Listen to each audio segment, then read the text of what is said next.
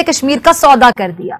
इसे बेच दिया मोदी के हाथों। डॉलर की कीमत आसमान को छू रही है। ये मेज पड़ी है ना मेरा फेंक दो उठा के। के बकौल इस हुकूमत ने क्या किया? कश्मीर का सौदा कर दिया।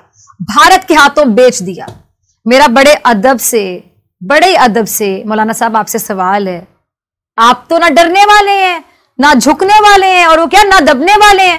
फिर आप कश्मीरियों को भारत के जुल्मों सितम से निजात क्यों ना दिला सके मौलाना साहब? और आप क्या कहते हैं कश्मीर का सौदा कर दिया।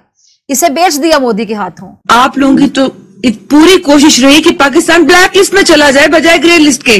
अब हमारे अंकल्स तो इंडिया में नहीं बैठे हुए जो हमारी शादियों पे आए या अमरीकी टीवी चैनल को इंटरव्यू में वज़ीर आज़म का कहना था कि अफ़गानिस्तान की सूरत हाल परेशान कौन है। सूरदास ओ सूरदास आँखों के अकल के अंधे कठपुतली वज़ीर आज़म पाकिस्तान की सूरत हाल अफ़गानिस्तान से कम परेशान कौन नहीं है।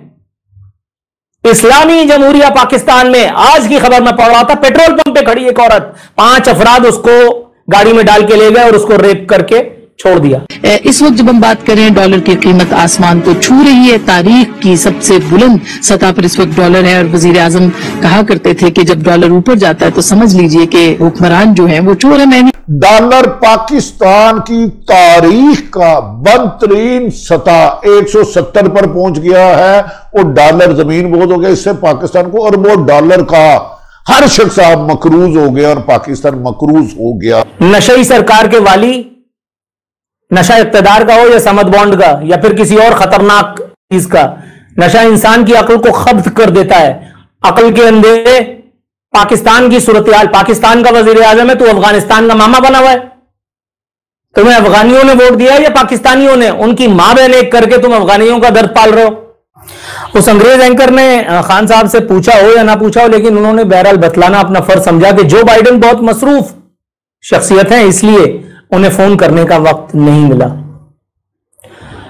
इसको आप यूँ भी समझ सकते हैं और आपको समझना चाहिए कि मैं इतना फ्री फोकट का फालतू वेला आदमी हूँ कि जो बाइडेन ने मुझे मुँह लगाना पसंद नहीं किया। तुम कर क्या रहे थे अफ़गानिस्तान में? क्या तुम हिंदुस्तान को दावत दिया था ना? आ, आ, आओ हमारे साथ इधर लड़ो।